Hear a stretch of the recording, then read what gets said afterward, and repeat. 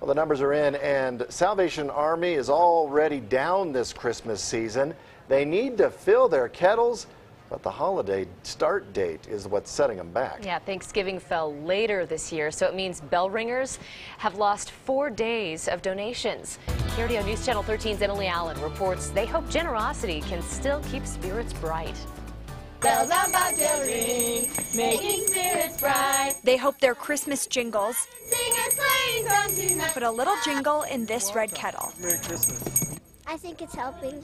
Have a good night. Merry Christmas. This year, Salvation Army needs more people like 10 year old Kate Younger. She's volunteering. For people who don't have that much and um, they need it for like food and clothes. As a mom, I think it's important for me and for my kids to know that not everyone is as fortunate as we are.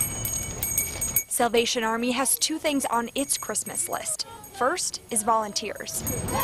Today we had 18 employees call in sick today out of the 73. So that's a big hit for us. And so that's why volunteers are so important to us. You guys are standing in the cold. It also needs more donations. Thank you. Merry Christmas. We have four less days this year because of where Thanksgiving lands. And so um, we're a little behind. It lost $20,000 because of the later start. And it didn't reach its goal last year. Last year, the Salvation Army fell $80,000 short of its goal. So this year, it needs to make up that cash. Floods and fires in southern Colorado the last two years hurt donations. I think it made a difference in what people gave last year. Hopefully, since this year we have no major disasters, praise God, that um, giving will be up.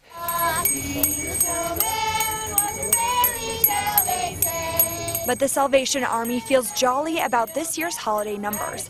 It's confident that Christmas cheer and a little caroling will fill their kettles this season. Let us know, let us know, let us know. In Colorado Springs, Emily Allen KRDO, News Channel 13. Uh, thanks, Emily. And you might be wondering why they just don't start this earlier. We asked them that, and they said there are set agreements with the major retailers about the days they can start that project.